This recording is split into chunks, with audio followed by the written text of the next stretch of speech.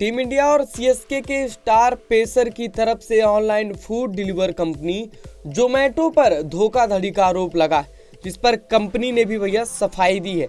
Indian cricket team और Chennai Super Kings के pacer Deepak Chahar ने online food delivery company Zomato पर धोखाधड़ी का आरोप लगाया है। उन्होंने ये बात सोशल मीडिया के ज़रिए शेयर की है।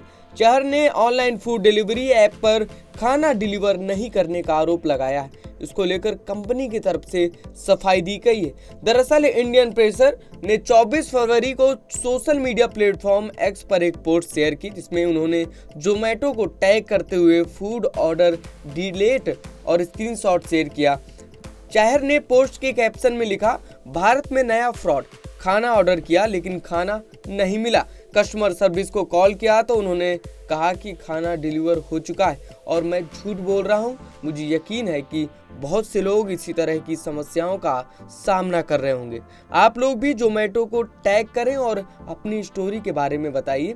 दीपक चहर की तरफ़ से शेयर की गई इस पोस्ट के बाद जोमेटो तुरंत हरकत में आ गई। कंपनी ने दीपक चहर के पोस्ट का जवाब देते हुए कहा, दीपक, आपको इस तरह का अनुभव करना पड़ा, इसके लिए हम चिंतित हैं और असुविधा के लिए माफ़ी चाहते हैं। लेकिन आप निश्चित रहें हम ऐसे मुद्दों को काफ़ी गंभीरता से लेते और जल्दी ही इसका समाधान करेंगे।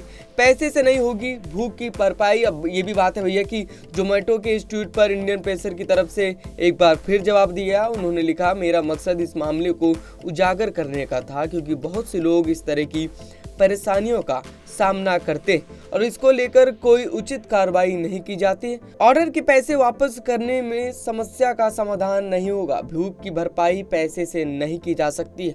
दीपक चहर की बात करें तो आईपीएल 2024 के दौरान धोनी की कप्तानी वाली चेन्नई सुपर किंग्स के लिए मैदान पर नज़र आने वाले चहर ने सीएसके के लिए आईपीएल 2023 के दौरान 10 मैच में 13 विकेट लिए थे। वही बात इंटरनेशनल क्रिकेट की करें तो टीम इंडिया में अपनी जगह पक्की नहीं कर पाए। आखिर बार दीपक दिसंबर 2023 में ऑस्ट्रेलिया के खिलाफ टी सीरीज़ के दौरान नज़र आए थे और अब इसके बाद दिसंबर से अब चल रहा है भैया, फरवरी। लेकिन तब से Deepak Chahar Indian cricket team में शामिल नहीं।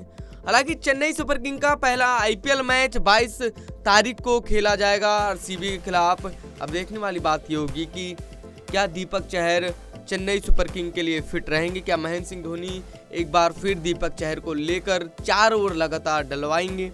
या फिर ऐसा हो सकता है कि दीपक चहर कुछ मैचों के लिए, क्योंकि पिछले बार भी ऐसा हुआ था कि दीपक चहर कुछ मैच खेले थे। जैसे कि 10 मैच ही खेल पाए थे वो 2023 के मैच में।